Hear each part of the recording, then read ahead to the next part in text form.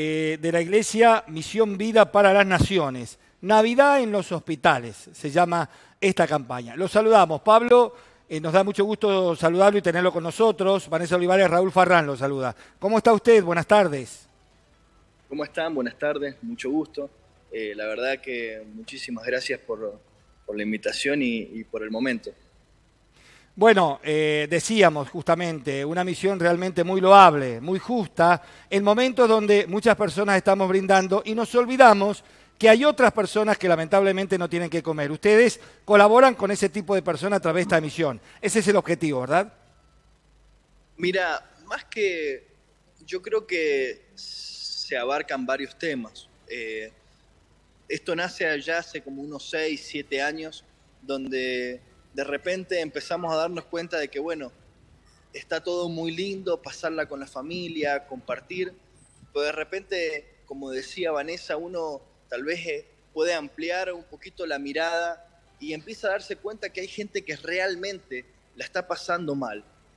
Y que a veces uno mira hacia uno mismo, mira a su familia, mira y uno tiene sus problemas, pero cuando empezás a mirar hacia tu alrededor y empezás a mirar al prójimo, y empezás a darte cuenta que hay gente que también está complicada y que también está viviendo situaciones eh, más difíciles. Entonces, se dio la iniciativa ya hace varios años de poder compartir con, por ejemplo, las personas que están en el hospital, que están acompañando a algún familiar con alguna enfermedad o con alguna situación, con la misma gente que está haciendo la guardia, a su vez con, con personas que a veces están durmiendo en la calle, que están en situación de calle.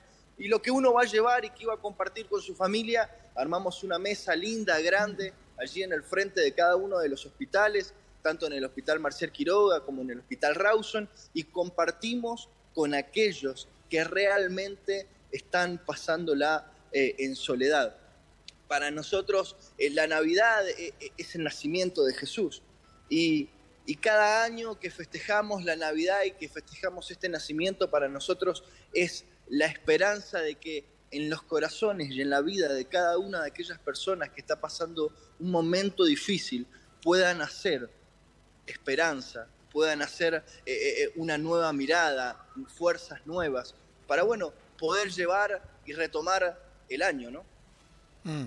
Estamos viendo las imágenes y son mesas realmente muy extensas, con muchas personas. Digo, ¿cómo acceden, cómo, cómo logran ustedes la comida, cómo logran ustedes los elementos que necesitan para esa noche, por ejemplo? Mira, te cuento, mucha gente se entera de, de la tarea, se entera de la actividad, nos llama y nos dice, mirá, me gustaría colaborar con, qué sé yo, desde pan dulces, pollo, comida, etc. Y a su vez hay mucha gente que dentro de la iglesia hay gente que, que nos conoce a través de la fundación, de los hogares Veraca, que les toca por diferentes situaciones pasarla solo, porque tal vez tienen los hijos en otra provincia, porque tal vez y les toca pasarla solo, entonces dice, bueno, en vez de pasarla solo, vienen con nosotros y la pasan allí junto con esta gran familia y bueno, así se suman varios colaboradores, solemos ser como unos 20, 30 y sumado a todos los que bajan del hospital, médicos, enfermeros, eh, gente de seguridad, acompañante de algún enfermo y se arman justamente estas mesas muy lindas, muy grandes y a ver, no te voy a mentir, lo más importante para nosotros es poder transmitir un mensaje de fe y de esperanza. Totalmente. Más ahí, en ese lugar donde a veces la esperanza eh, eh, carece. Y, allí nosotros le metemos fuego, le metemos fuerza para que la gente pueda creer que, aunque las cosas se ven complicadas ahora, si tenemos fe, Dios tiene el control de todo.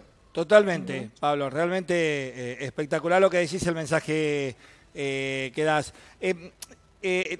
ustedes eligen un hospital por año o siempre están en los dos hospitales más importantes? Digo, en el Marcial Quiroga y en el Rawson. Siempre elegimos estos dos hospitales porque, bueno, ya, ya es un clásico y gracias a Dios, presentando las notas y, con todo lo que hay que hacer, hemos podido eh, poder estar allí, así que lo hacemos tanto en el Hospital Marcial Quiroga como en el Hospital Rawson. Bien. Eh, muy bueno eso de estar, acompañar, más allá de lo que uno pueda poner en la mesa, ¿no? Que siempre es importante, pero digo, me parece que vos hiciste centro en algo sumamente interesante, el estar, el acompañar. No solamente para esas personas solas que a lo mejor comparten la cena con ustedes a disposición propia, sino por todos aquellos que no tienen con quién estar. Esos que están en los hospitales y que en muchos de los casos, vos sabés qué pasa esto, los familiares lo dejan en el hospital y desaparecen y, quedan los enfermos solos. Por supuesto, y mirá lo que te voy a decir, muchas veces nos centramos en la mesa, en la comida y que no falte comida y que haya comida y comida.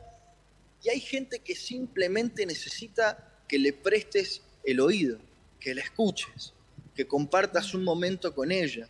Gente que pasa mucho tiempo en soledad, en situaciones que cuando uno las escucha, por un momento piensa y dice, wow, qué privilegiado que soy. Realmente hay gente que la está pasando mucho más difícil y en ese momento los que parece ser tus grandes problemas se transforman en problemitas así chiquitos. Y ahí uno comienza a ser agradecido, ¿no? Y dar gracias por la familia, dar gracias por el hogar, por los hijos, por la esposa, por el trabajo, por la salud. Eh, Totalmente. Es una tarea muy linda. Sí, sí, sí. Vanessa. Bien. Eh, muy buena esta actividad eh, que, están organizando. Hay teléfonos para colaborar que los estamos difundiendo con el, con el flyer que nos han acercado. Por ejemplo, para el Hospital Marcial Quiroga hay un número y para colaborar para la cena del Hospital Rawson otro. Pero ustedes también tienen previsto, Pablo, una actividad en el día de mañana.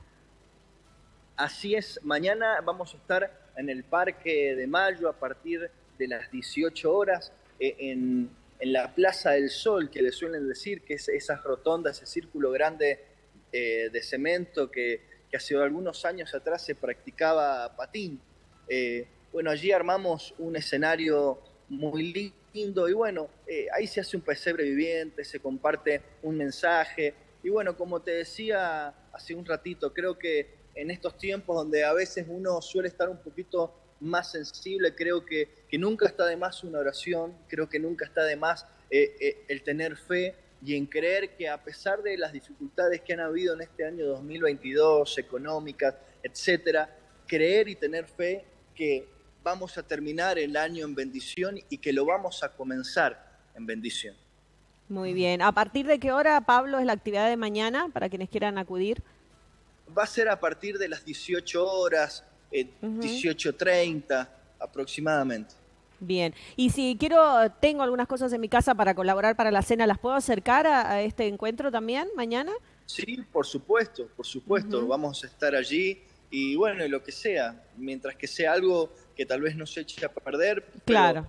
Desde un turrón, un pan dulce, un budín, eh, desde comida, lo que sea, lo, va a ser bien recibido. Muy bien. Eh, bueno, Pablo, creo que está muy bien planteada la propuesta y también la invitación para quienes quieran sumarse a colaborar ese día, no solo con eh, algún alimento, sino también con, su presencia, ¿no? con su corazón. Ya vamos a estar difundiendo los números de teléfono para que se pueda colaborar con ustedes también. Bueno, muy bien, Pablo. Eh, un fuerte abrazo. te deseamos lo mejor.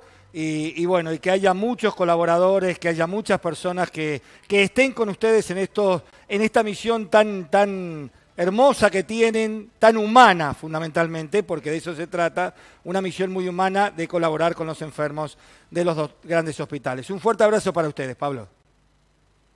Muchísimas gracias. Gracias, hasta otro momento. Pablo Moreno, entonces...